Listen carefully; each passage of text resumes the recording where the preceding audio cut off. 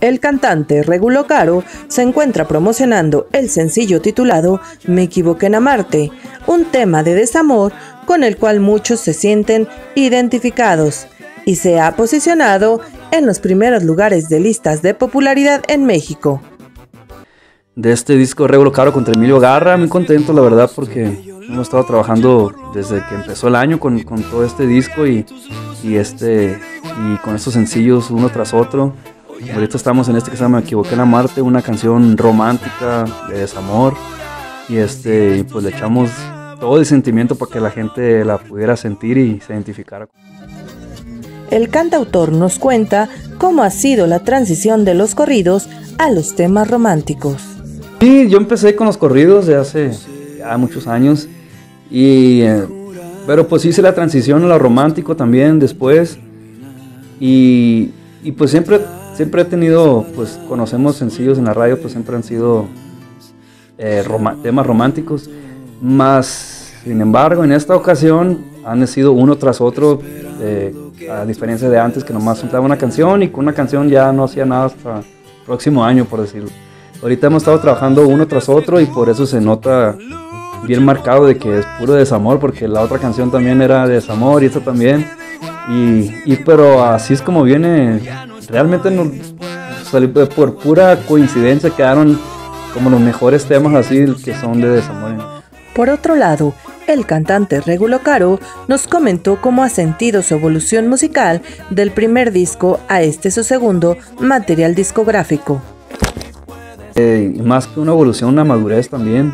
Eh, el primer disco en el 2010 salió y, y pues eh, cada año, cada, pues voy agarrando más experiencia también y voy eh, como moldeando más mi estilo y, ya cada vez que saco canciones pues ya voy, voy como, ¿cómo se dice? Como ya definiendo bien qué, qué, música es la que quiero hacer. A diferencia de antes que pues muchas veces yo pensaba algo en mi cabeza y cuando salía la canción era, no era lo que yo pensaba y ahorita como que ya he logrado conectar lo que tengo en mi mente y, ya con lo que sale el resultado final. Y pues esa evolución sí ha sido muy, eh, sí la he marcado mucho. Regulo Caro nos compartió que le apasiona más en la música, si la composición o la interpretación. Pues como autor, yo creo que sería más como autor, aunque nunca he estado cerrado yo a la idea de interpretar otras canciones.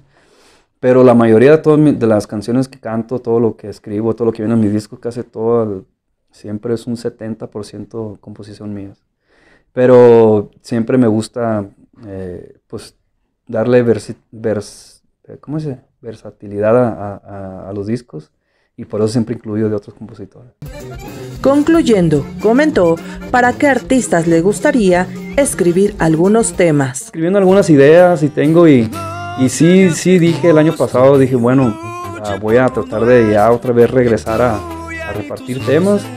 Y, pero ahorita no he tenido el tiempo que quisiera para hacerlo, pero eh, ya nomás voy a juntar algunas ideas y ya que escriba, pues voy a tratar de, tocar puertos como antes. Eh, me gustaría, por ejemplo, eh, MS, me gustaría tocar un tema. Eh, grupo firme, sería padre darles un tema y que me lo grabara. Eh, igual con Cristian Nodal. Pues todo se ve porque tienen voces muy bonitas y siento como que. Porque yo a veces escribo y, y lo que escribo, ah, no, no me gusta cómo me queda a mí. Y a veces que las grabo porque, pues, porque las tengo que grabar, pero a veces no estoy. Me gusta como está hecha la canción, pero no me gusta cómo me. Tú ya ni tus luces, te da igual si vivo o muero. O ya no estoy dispuesto a aguantar esta tortura. Si esto se acabó, fue solo por tu culpa. Para Talentos Latinos reportó Paola Rubio.